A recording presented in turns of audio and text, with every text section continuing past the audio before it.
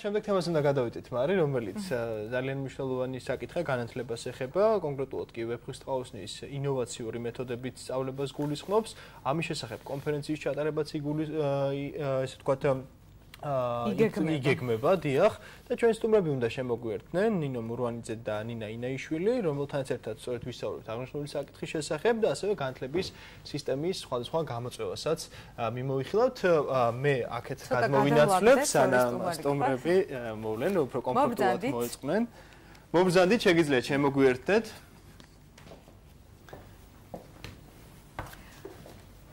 საღამოშიდობის საფრთხეში ხარ ჩვენი გადაცემის სტუმრები სტუდიაში ძალიან საინტერესო თემაზე. კონფერენციის სრული სახელი რო თქვა ვეფხის ყავსნის სწავლების წარმატებული სასწავლო პრაქტიკა.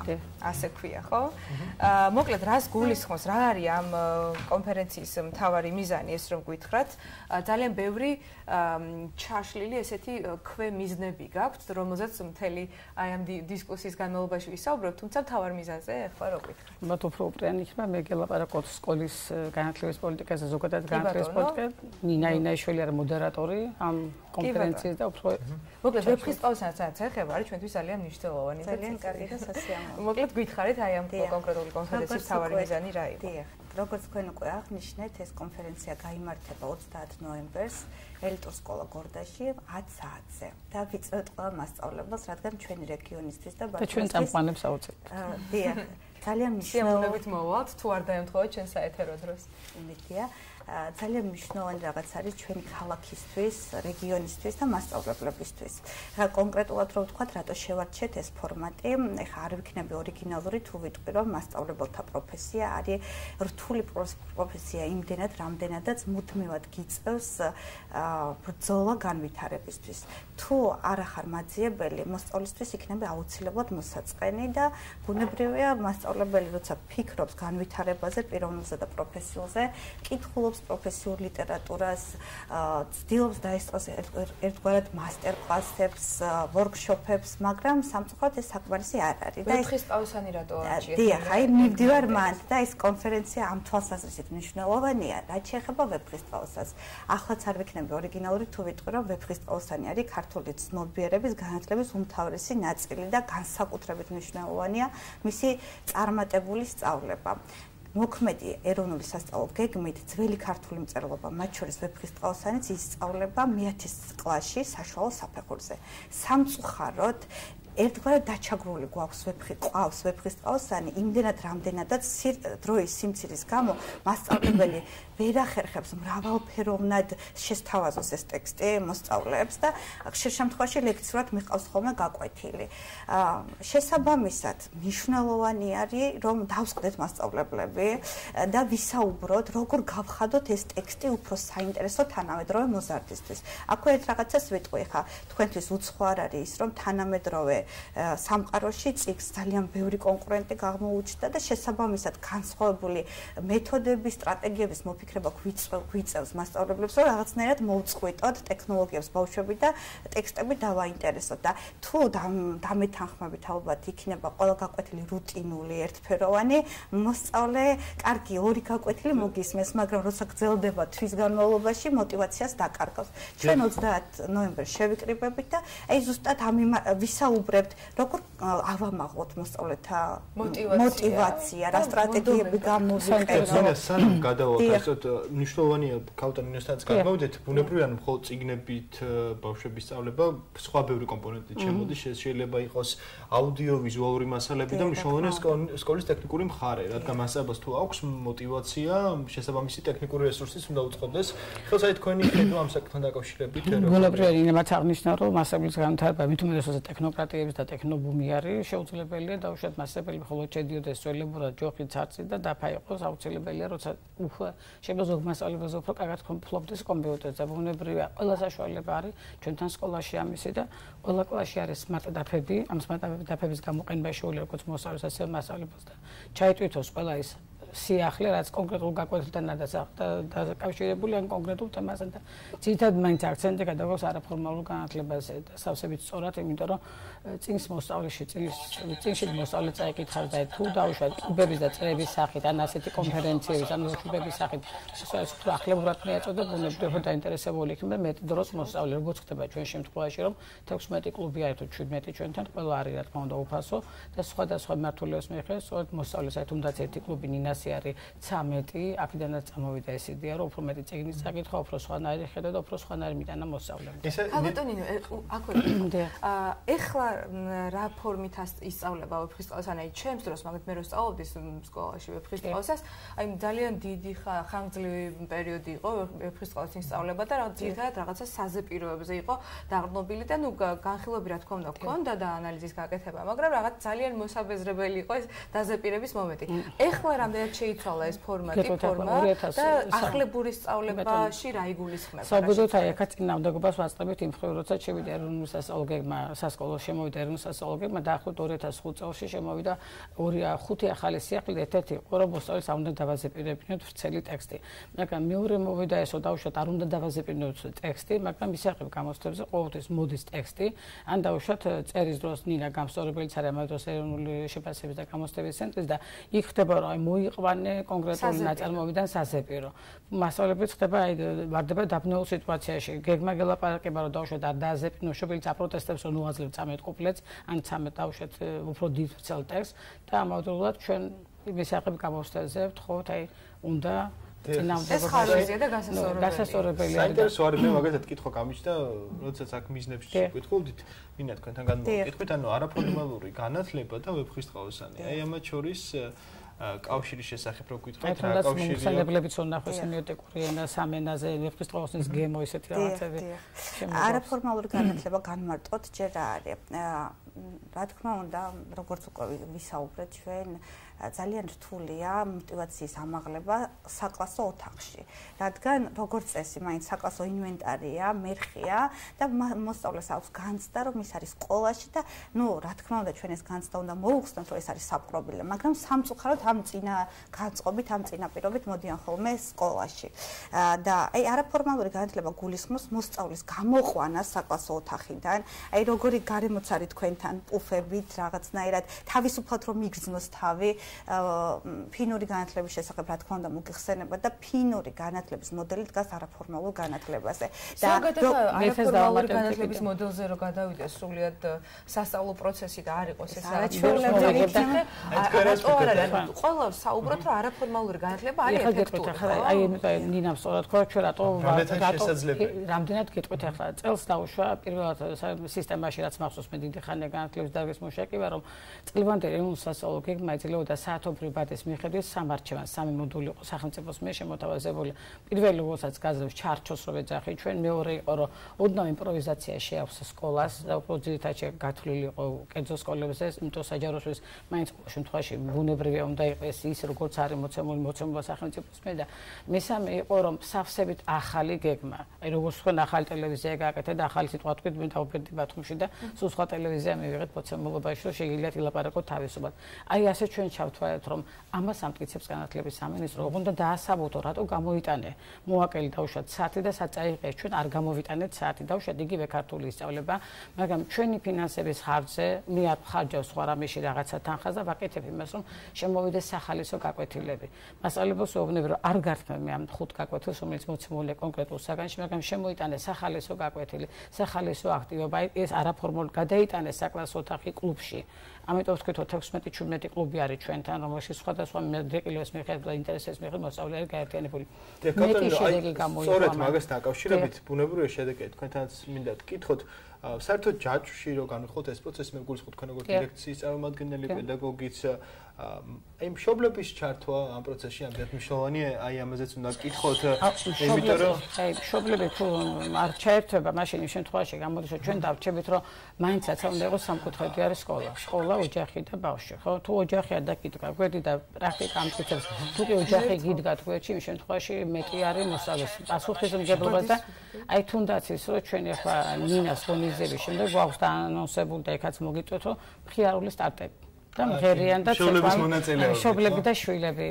აი მღერიან ცეკვამენ და ხუმრობენ შობლები და შვილები, ასპარეზობენ შობლები და შვილები და უკვე ბუნებრივია მშობლებს ნოს პასუხისგება შვილის წინაშე და შვილის ნოს რომ мама როგორ მე და დედა ასახელოს და მე ვერ ვიტყვი რომ მე არ მახსოვს გავუკვირდა სახელმწიფო აუდიტს, როდესაც შემოწმება იყო ნუ კითხვარი მის თავს რომ რამდენად არის სკოლაში დაჩაგვის ელემენტი და ბულინგის და მე ვერ მომნახე ფაქტი მსგავსი მისა, აი რომელიც განხილვისაგან ყოფილიყოს, ან იყოს სამართალდაღობა და გვიწყობს ხოლმე მე მოსწავლე მანდატურები ყავს ჩვენ მე არა ზოგადად ჩემ სკოლას ყავს მოსწავლე მანდატურები, მოსწავლე ოფიცერს ვეძახი და როტაცია ხდება ჩაოლები და მოსწავლე დუბლირებული კვირა გვაქვს თანამდებობების მაგალითად მე არა ვარ სკოლის დირექტორი და მოსწავლეა სკოლის დირექტორი.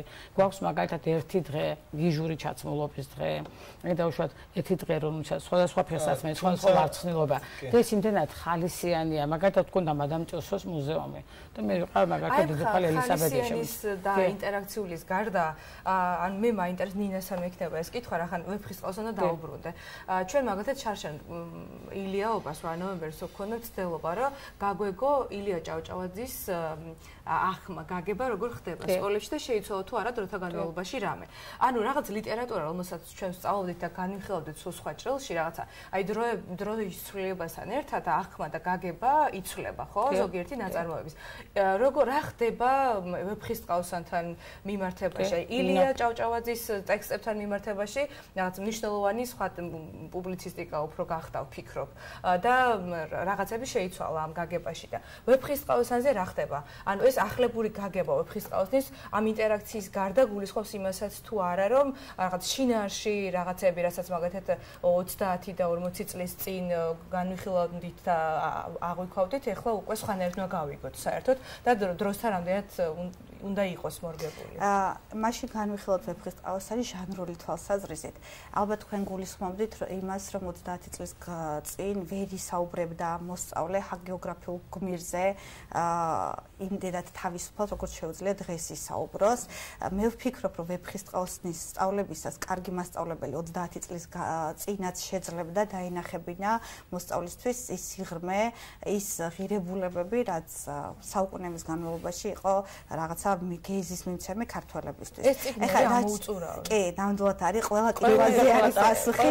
მე ჯერ არ წაკითხულა, კიდევ ვეფხისტყაოსთან დაიბადება თაობებს კიდე სხვა ნაწილი. და ყველაზე თანამედროვე. აქ ვიტყვი, ეხლა რა თქმა უნდა, ჩვენ სიუჟეტური ხაზი, როგორც 30 წლის წინ რაღაცა თავაზობდით მოსწავლეებს, ამას ვერ შევცვლით, იდეა კონცეფციაც ვერ შევცვლით, უბრალოდ მე თავისუფლებას ვაძლევთ, რომ დააფიქსიროთ მოსაზრებები. ბუნებრივია, აი მე მაგალითად რა თქმა უნდა, მე მაგალითად ძალიან ხშირად ხშირად ვიყენებ ხოლმე როლურ თამაშებს, როცა თვითონ გაითამაშებენ პერსონაჟს. ეგ შეხონდა ერთი როლურ თამაში, გამეფება თინათინი ძალიან საინტერესო. აი, იცით რა არის ვეფხისტყაოსანი ისწავლება მე-6-ე, მე-7-ე, ყველა კლასში ისწავლება სხვადასხვა ეპიზოდი და ის სრულად მე-10 კლასში.